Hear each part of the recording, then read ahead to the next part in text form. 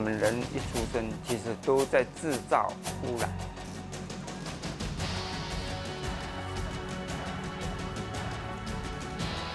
在我们可以的话，其实都要赶快做环保，把它补回来。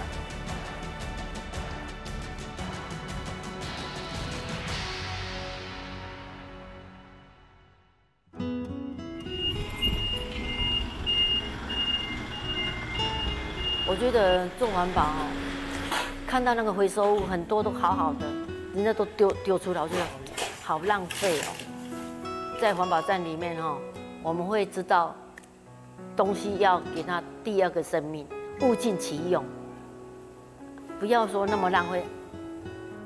环保站哦，真的是非常好的，可以讲说到场，然后也可以讲说真的是很多的年纪比较大的或的。很好的去处。啊，个条条迄落卡咧未行咧，有冇好啊？我们这里年纪最大的就是一个九十二的肖爸爸，那每天都四点多就从家里过来。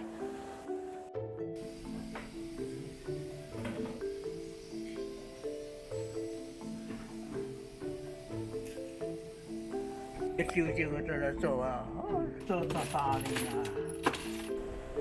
除了上洗手间去一下也而已，叫他休息、喝个东西、吃个东西，他都不要，对，就是一直做。他是一个很客气的一个长者。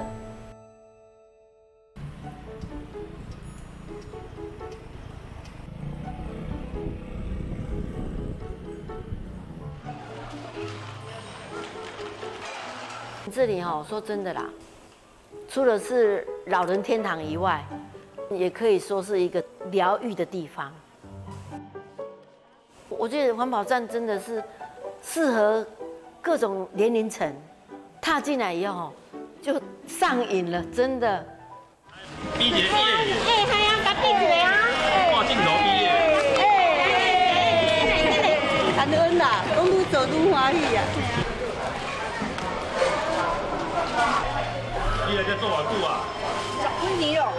十几年啊？对呀，九十四年就来做啊。安尼哦。啊，有欢喜无？哦，都欢喜哦。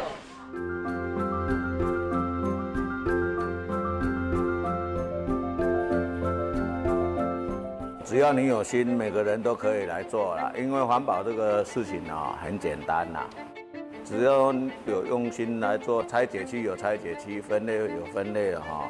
都不同的工作性质啦。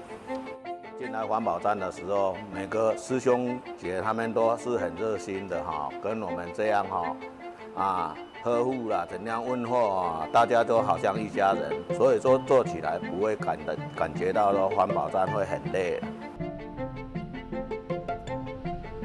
今晚要去倒？可以做啊。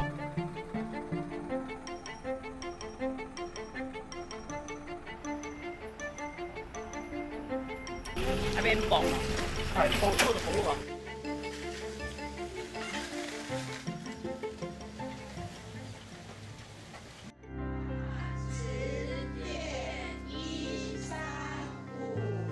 就一寡小朋友哈，一来参访哈，小朋友是未来的主人翁嘛，阿英哈，会来哈关心环保这一块哈，就感觉到哈，我们的这个社会哈是有希望的。少喝一点饮料，然后不要能用的纸类就尽量用，不要一直丢。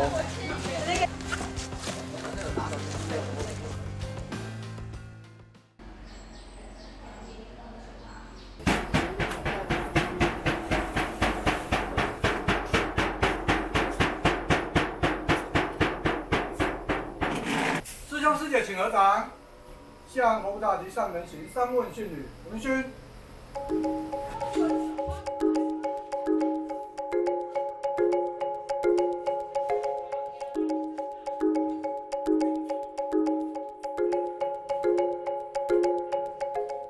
以前还在公司的时候，其实我就利用时间啦，利用夜间环保来来这边啦。其实白天就没办法了啦。啊，其实时间都是自己找出来的啦，不是说不是说人家安排的。你要有有心去做环保，就是这样的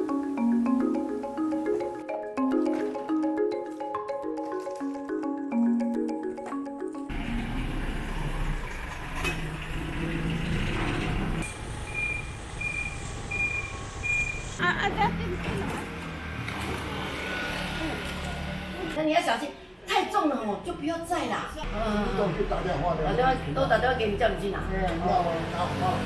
但是太重了，你不要载啦。你这个脚踏车习惯了吗？习惯了。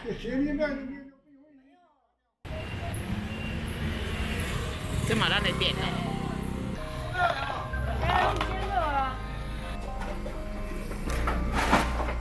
在吃饭，在吃饭。他没吃饭呢。我过下班就来啊，想说下班来啊，如果说七八点再回去都给小孩，然后小孩子吃好九点就来，然后用到十一点再回去。